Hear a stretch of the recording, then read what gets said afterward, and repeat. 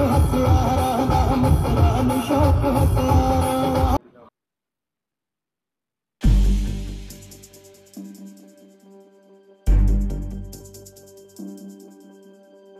वक्त की सबसे दुख भरी खबर जो है हम लोग आपको बता रहे हैं और सुना रहे हैं। कल रात पानीपत के सनोली रोड पर हनुमान स्वरूप जो पानीपत में चल रहे हैं हनुमान स्वरूपों की एक टोली जा रही थी और उसी टोली में कुछ शरारती तत्व घुस गए और उन्होंने चाकुओं से वार करके अंतर्राष्ट्रीय खिलाड़ी उगराखेड़ी के रहने वाले थे मनप्रीत, उसकी हत्या कर दी।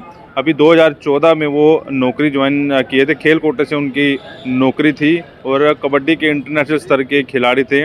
रात का जो मामला था, सनोली रोड पर ये लोग हुड़दंग मचाते जा रहे थे। एक शख्स ने उसे रोकने की कोशिश की, लेकिन उसके साथ भी बदतमीजी शुरू कर दी। बाद में ये मामला जो है, बढ़ता चला गया। गाँव वाले कुछ लोग युवक वहाँ पर पहुँच गए। उसमें टीटी जो मनप्रीत है खेड़ी के, वो भी साथ में था और उसके साथ कासुनी बढ़ती चली गई और चाकुओं से वार करके उसकी हत्या जो है, कर दी गई। दुख भरी खबर है, वैश्व पानीपत पर हम लोग आपको दिखा रहे हैं और इसके बाद कि आपको तस्वीरें दिखाते सुबह इस समय उगरा खेड़ी के तमाम उगरा खेड़ी और आसपास के जो तमाम गाँव के लोग हैं, यहाँ पर पहुँचे हुए हैं। स्क्रीन पर आप देख रहे हैं लोगों में काफ़ी इस बात का रोष बना हुआ है और साथ में ही ये मांग की जा रही है कि ऐसे जो हुड़दंग मचाने वाले हनुमान स्वरूपों के आगे चलते हैं वो जो डीजे चलते हैं, वो डीजे बैन होने चाहिए।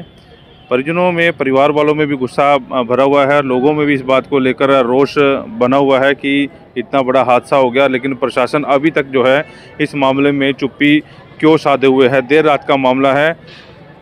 सोनौली रोड पर ये जो है झगड़ा हुआ सोनौली रोड पे ही ये सारा मामला सामने आया। आपको वो उस समय जो डीजे चल रहा था, डीजे के सामने वो जो युवक थे, वो नाच रहे थे, हाथों में हथियार लिए नाच रहे थे। उस समय के एक्सक्लूसिव जो है, सीसीटीवी फुटेज दिखाते हैं।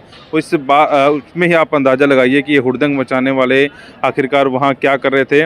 और इन हनुमान सभाओं के आगे जो डीजे लगाकर चल रहे हैं, उन पर प्रशासन क्यों नहीं बैन लगा रहा? तो आप वो सीसीटीवी फुटेज देखिए।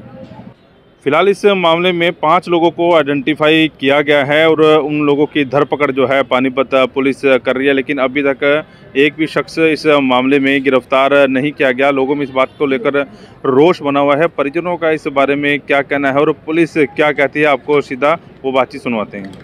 क्या हुआ था? रात क्या जानकारी? रात ये जानकारी आई जी कि बच्चे को चाकू मार दिए। हमारा भतीजा रेलवे में था टीटी और वो उगरा खेड़ी मोड़ के आसपास चाकू मारे गए उसको।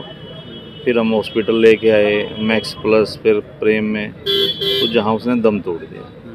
क्या पता लगा किसने मारा ये पता लगा जी हनुमान स्वरूपों को लेके एक झांकी थी जिसमें कुछ उड़दंगी लड़के थे जिन्होंने चाकू लहराते हुए लठ लहराते हुए निकल रहे थे जगह जगह तोड़ फोड़ कर रहे थे।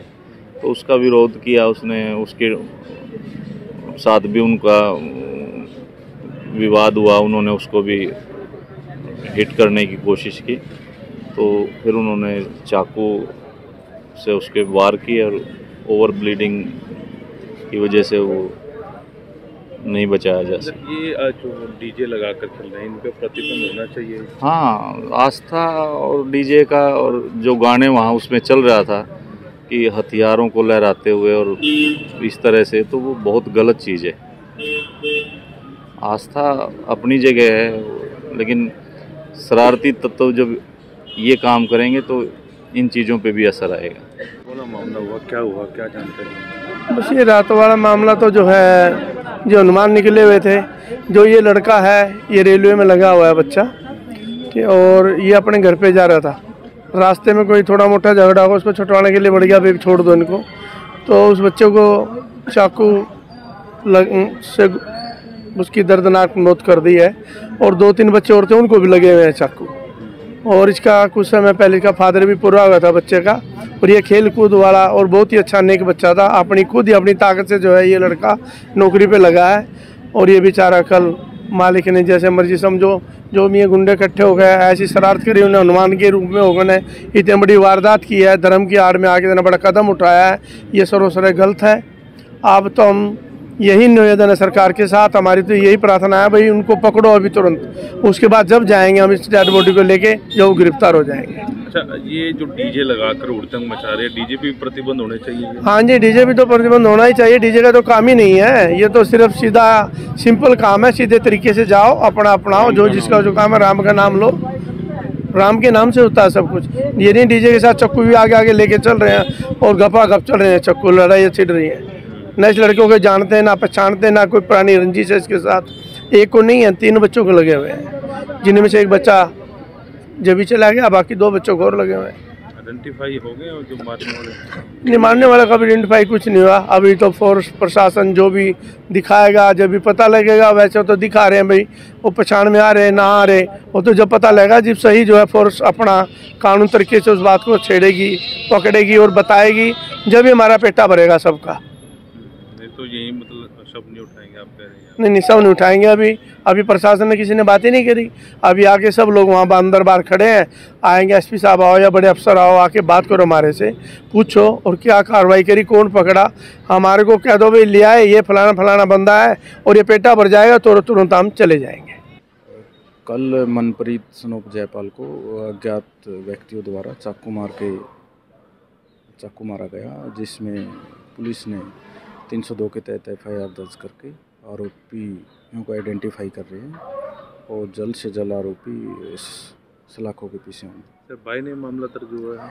एक बाई नेम अरविंद गुज्जर के नाम से बाई नेम मुकदमा दर्ज हुआ है। वो भी घर से फरार है। उसके लिए भी हमारी टीम में लगी हुई है। सर झगड़ा किस बात का हुआ? अभी वो चीज़ें प्रॉपर पता नहीं चल पा रही हैं। उनकी इन्वेस्टिगेट हम कर रहे हैं। किस बात पे हुआ? क्यों हुआ? क्यों मारा? वो चीज़ हम वेरीफाई कर रहे हैं। सर कुछ सीसीटीवी फुटेज भी सीसीटीवी फुटेज हमने ली हैं दो तीन जगह से और और भी देख रहे हैं। अंदर जो बिल्कुल तंगड़ियाँ हैं उनसे भी हम सीसीटीवी फुटेज ले रहे हैं। झगड़ा हो रहा था किस बात पे झगड़ा हुआ है? ये अभी कोई पता नहीं लगा है किस बात पे झगड़ा हुआ है बाकी हम कार्रवाई इसमें कर रहे हैं।